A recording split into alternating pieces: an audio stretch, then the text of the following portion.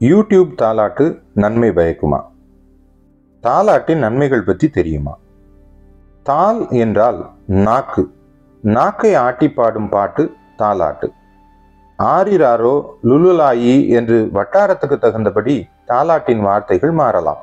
ஆனால் தாய்மையின் அன்பு பாசம் என்பது என்னமோ மாறாததுதான்.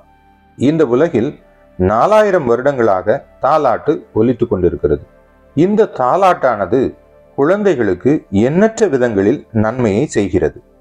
ஒரு சில தாலாட்டு பாடல்கள் குழந்தைக்கும் உறவினர்களுக்கும் இடையே ஒட்டுதலை பாசத்தை ஏற்படுத்தும் வண்ணம் இருக்கும்.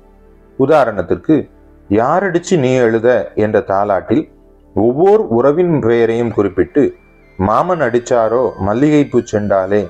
தாத்தா அடிச்சாரோ? தாமரைப்பூ தண்டாலே?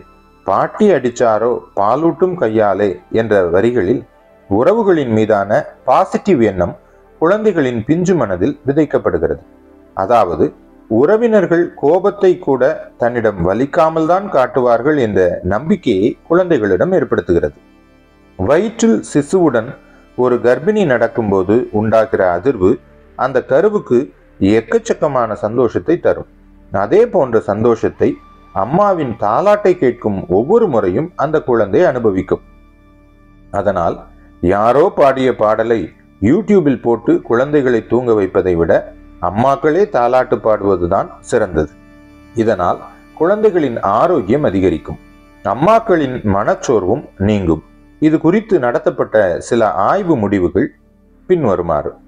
லண்டனில் கிரேட் ஆர்மான் ஸ்ட்ரீட் ஹாஸ்பிட்டல் என்கிற குழந்தைகள் நல மருத்துவமனையில் இரண்டாயிரத்தி பத்தாம் ஆண்டில் தாலாட்டு குறித்த ஆய்வு ஒன்று நடத்தப்பட்டது.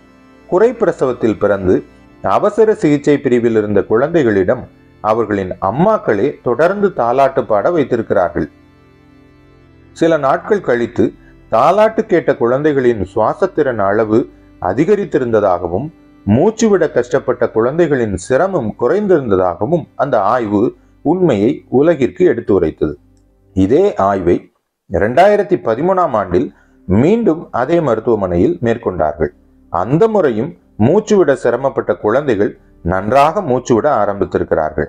மற்ற நாட்களை விட தாலாட்டு கேட்ட நாட்களில் தாய்ப்பால் அதிகமாக குடித்திருக்கிறார்கள். தவிர சில குழந்தைகள் மருத்துவமனையிலிருந்து வீட்டுக்கு செல்லும் அளவுக்கு உடல்நலம் தேறியிருக்கிறார்கள்.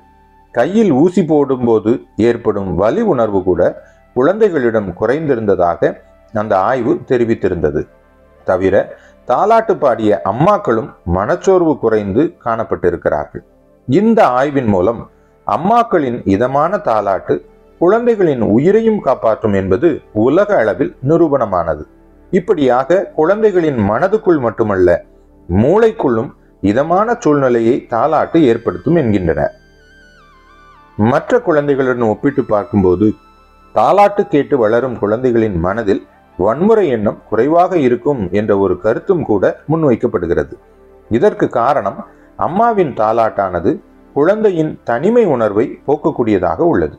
குழந்தைகளுக்கு பேச்சை விட பாட்டு ரொம்ப பிடிக்கும். அதுவும் அதிக சத்தம் இல்லாமல் அம்மாவின் மென்மையான குரலில் பாடப்படும் தாலாட்டை குழந்தைகள் விரும்பி கேட்பார்கள். உடன் அவர்களை அறியாமலே ரசிப்பார்கள். அதனால்தான் அழுகிற குழந்தைகளை தாலாட்டு சமாதானப்படுத்துகிறது. தாலாட்டு பாட சில குழந்தைகளின் பிடிவாத குணம் கூட மாறுகிறது. உடன் சந்தோஷப்படுத்தி தூங்கவும் வைக்கிறது. மொத்தத்தில் அன்னையின் அந்த தாலாட்டு தான் குழந்தைகள் கேட்கும் முதல் மொழி. அந்த மொழியை கேட்டு வளரும் குழந்தைகள் சரியான வயதில் பேச ஆரம்பித்து விடுவார்கள். தாய்மொழியை குழந்தைகளிடம் கொண்டு போய் சேர்க்கும் முதல் கருவி தாலாட்டு. இதை விடுத்து ஆங்கில ரைம்ஸ் போட்டு குழந்தைகளை தூங்க வைத்தால் அது குழந்தை தாய் இருவருக்கும் இடையே மனதளவில் நல்லுறவை ஏற்படுத்த தவறலாம். அத்துடன் அதில் ஒலிப்பது அம்மாவின் குரல் அல்ல என்பது குழந்தையின் உள்ளுணர்வுக்கு தெரியும். இதனால் குழந்தை பாதுகாப்பான சூழலில் இருப்பதாக உணராது. தவிர குழந்தைகள் மன இயல் ரீதியாக தாய்மொழியை வேகமாக கற்றுக்கொள்ள வேண்டும் என்றால் தாய்மார்கள் தங்கள் தாய்மொழியில் குழந்தைகளிடம் தாலாட்டு பாட வேண்டியது அவசியமாகிறது.